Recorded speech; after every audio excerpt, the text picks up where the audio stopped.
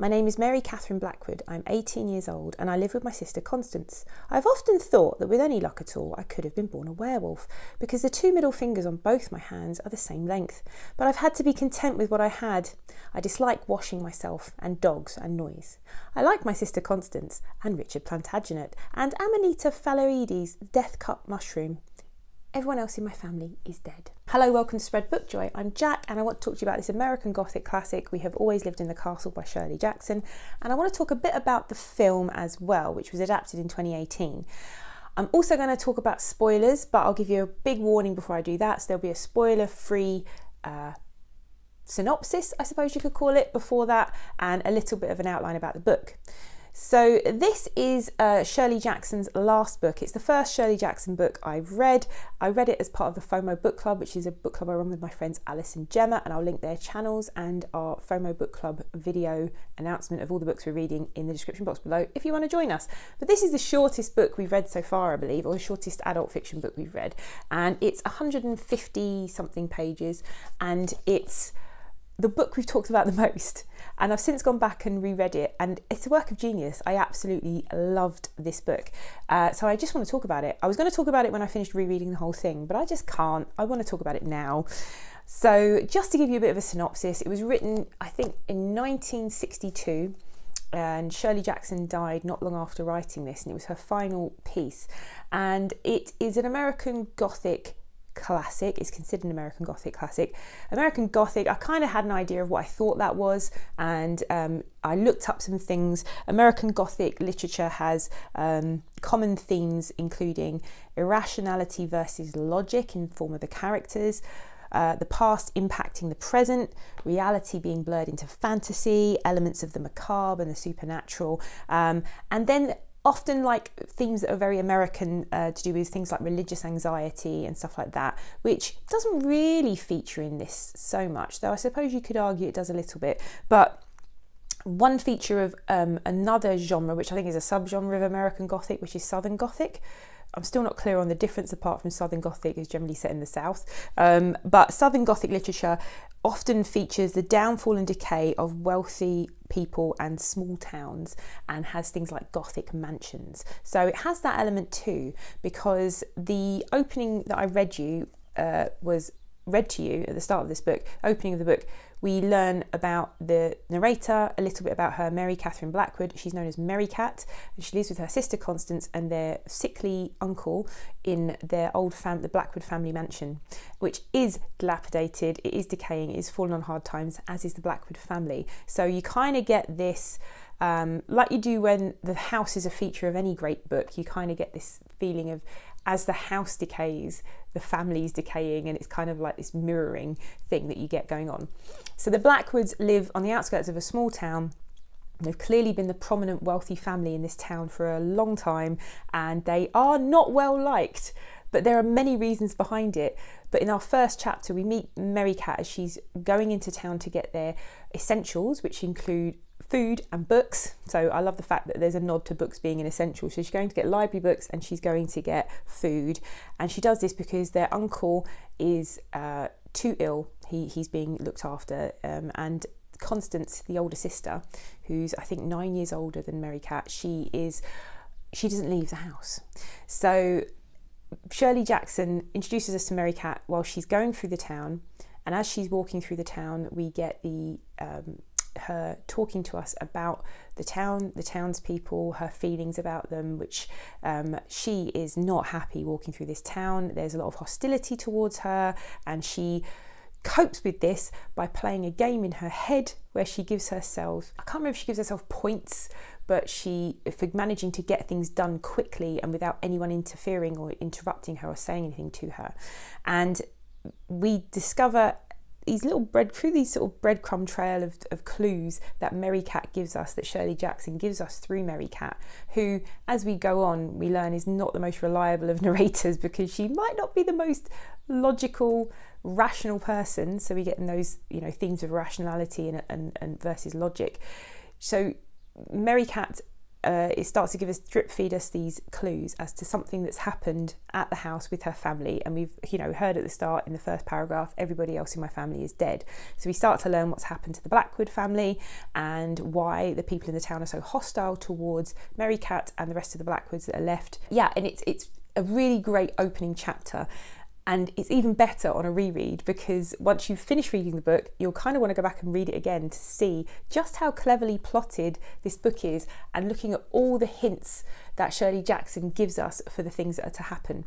But yes, so we're talking about those themes of irrationality versus logic and reality versus fantasy. And Mary Cat is a really unreliable narrator and she is uh, she sees the world in the way she wants to see it and she tries to she has these sort of rituals and ways of keeping herself safe and uh, keeping her family safe. And she must perform these rituals uh, like such as the game that she plays walking through town. But mary cat sees everything in, through the eyes of kind of like a fairy tale.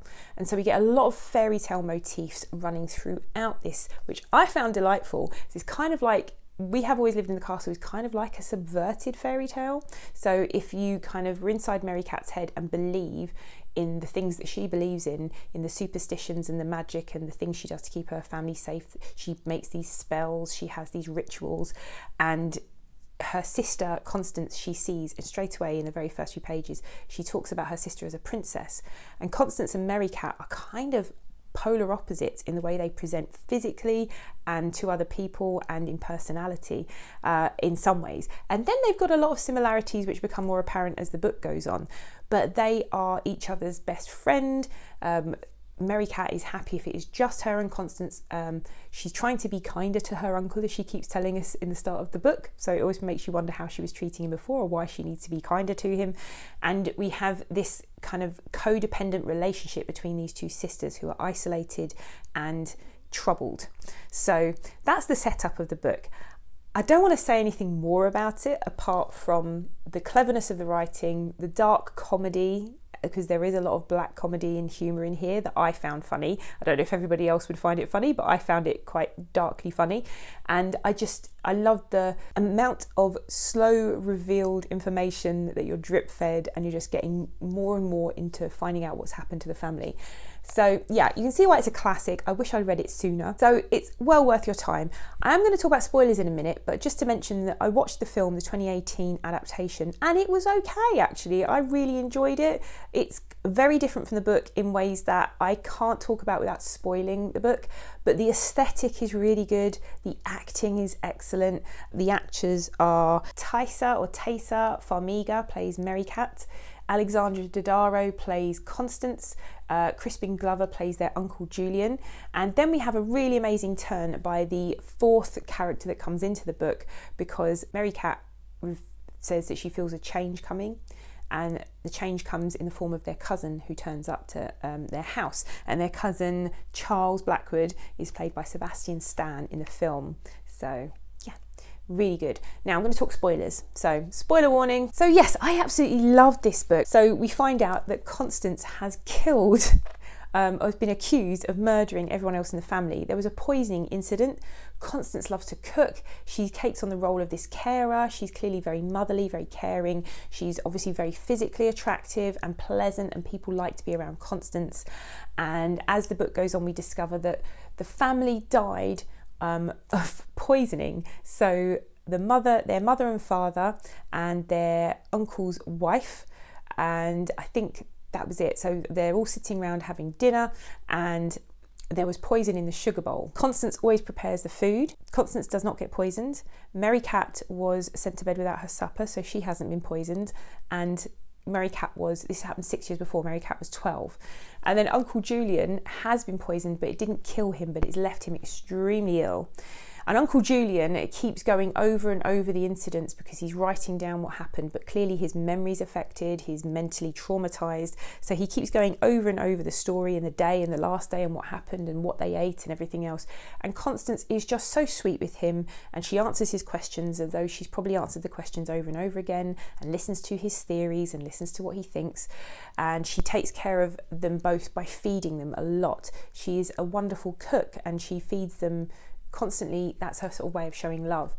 Mary Merricat loves Constance so much and she just wants to keep them together, no one else coming into their home. She wants to stay in their castle. So, talking about the fairy tale elements of it, we've got Constance, the princess, the golden princess. Mary Merricat is dark uh, dark haired I believe and she's very strange and she presents quite oddly uh, in the way that she presents herself to people she's very quiet and very reserved and um, socially awkward and uh, they're, so they're stuck in their castle and they kind of see their home as their castle, their protector. So Mary Merricat from the start, when she gets back to the grounds that their their their mansion is in, she feels like she's safe, and uh, their home is all important to them and protecting the home.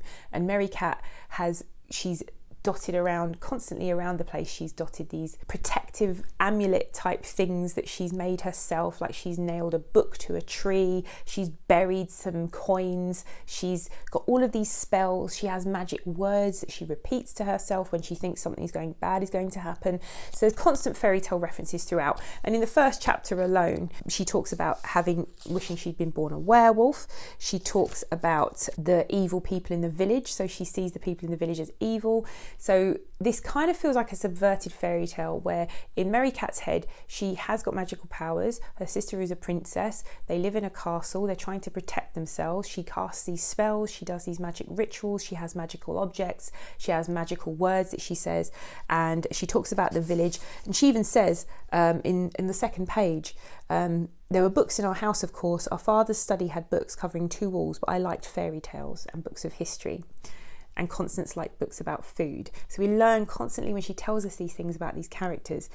Um, she talks about the village and she says, In this village, the men stayed young and did the gossiping, and the women aged with grey evil weariness and stood silently waiting for the men to get up and come home, which kind of struck me as very fairy tale like. Uh, she talks about making an offering of jewellery out of gratitude because she managed to have a good day. Um, so just it's just constantly scattered throughout. Um, she thinks about noise driving away demons. Her whole view of the world is through this kind of lens of fairy tales and magic. And so, if we're in Mary Merricat's head and this were a fairy tale, the villagers are kind of the evil villagers. She's Mary Merricat is a witch, um, but she never calls herself a witch in the book. And you know, fairy tales are full to the brim of stories of, of sisters, aren't they? And at the very end of the story, uh, we discover, of course, that Mary Merricat has been um, withholding some of the truth to us. Constance didn't poison the, the family. Merricat poisoned them. She put poison in the sugar because she knew Constance didn't take sugar and she was sent to bed without her supper.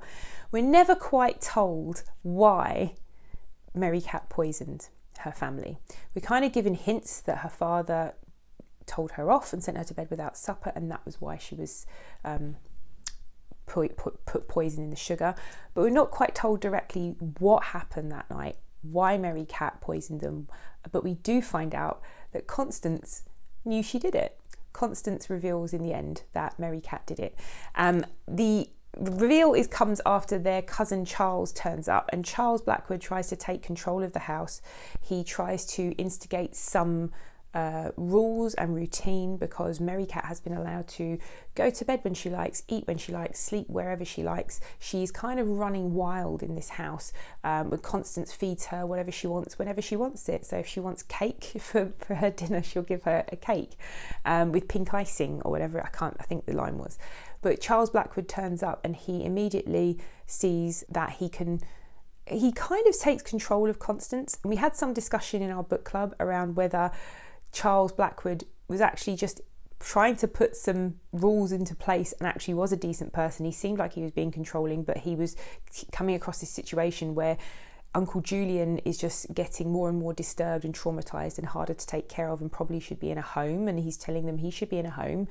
Um, you, Constance, are, you know, you, you need looking after, and mary cat needs some rules and she needs some discipline but actually he comes across in the book there is an ambiguity to it but he comes across to me as very threatening um, and he says things to mary cat when they're on their own about how he's going to get rid of her um, in terms like he hints at it and i think he's very threatening. And for me the thing that swung it as to why charles um, was not necessarily having their best interests at heart is because the girls are living off of the money that's in their father's safe and they were rich so they just take what they need and they go and buy what they need and then that's what they have and they're just living off of this fortune that's in the house. And he knows that's there and he wants to find it. And when they finally come to a, a big head about it charles and merricat merricat sets fire to his bed and then the whole house burns down. The villagers turn up like a mob they ransack the house, they're seeking out the girls. So this is where it gets very, you know, in terms of like gothic horror, kind of like a mob from the village with pitchforks almost turns up. And Charles does nothing to help or to save them. He just wants the safe taken out of the house and yeah, so for me, he was kind of the villain of it all. But at the end, Mary Cat and Constance are left. Uncle Julian dies. Mary Cat and Constance are left in their dilapidated house. There are parts of it that are not destroyed, so they board themselves up in there.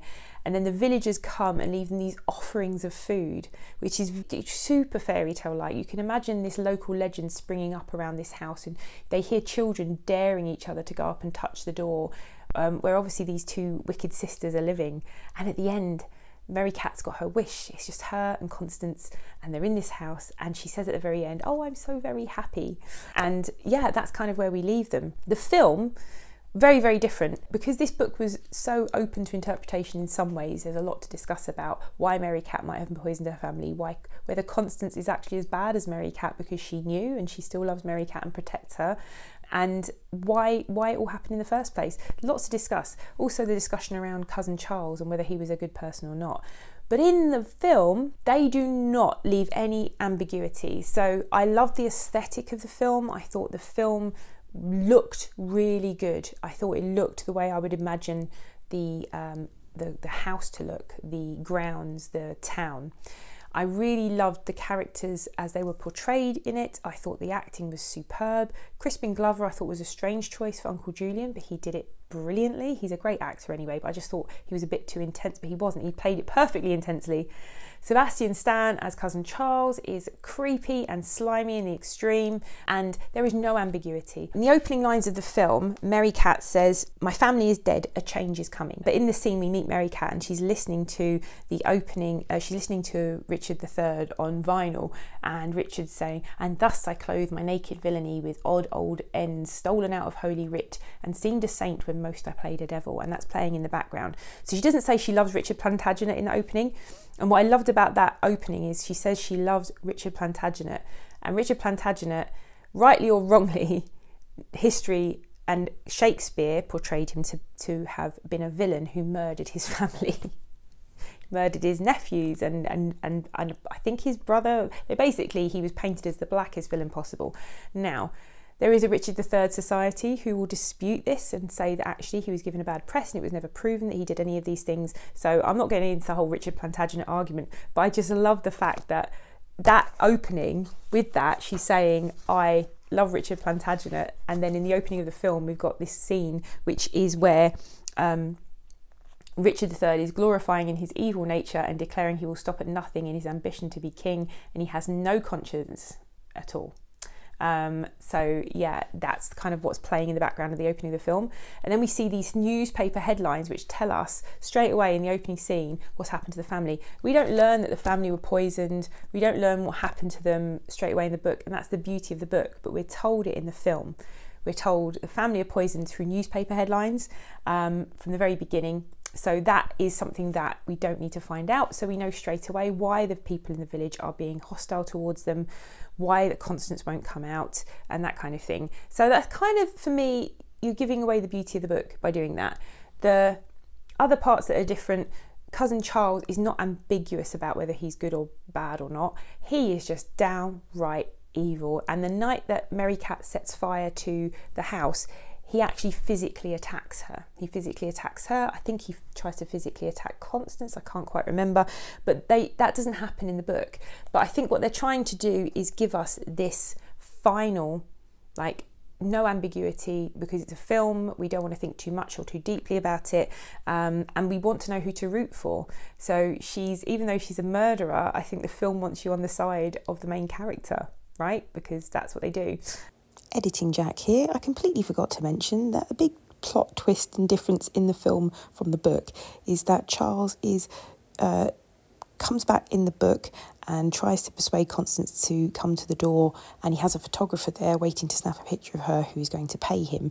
And Constance doesn't come out, they ignore him and he goes away. But in the film, he comes back and tries to attack Constance, and Mary Merricat kills him. She um, hits him over the head and kills him. So there's no ambiguity in the film whatsoever, you know, that Charles is that bad that he's physically attacking both of them. Merricat murders him, but to protect her sister, which she also did. Um, she also murdered her father to protect her sister uh, in the film, not in the book. The book is very ambiguous as to why she's done any of the things that she's done, but the film makes it very clear that we are supposed to find Merricat like a kind of anti hero, and I think it will satisfy a lot of people more than the book might. Some people might not like the ambiguity in the book. I personally enjoyed it because it gave us a lot to think about and to debate.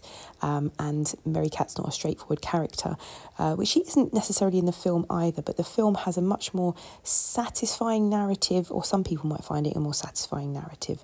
So yeah, I thought I'd pop in here and mention that because that was a huge difference at the end of the film. And also, they give a reason as to why Merricat murdered their family, and the idea is hinted at in the film that dad, Mary Cat's dad, was abusing Constance.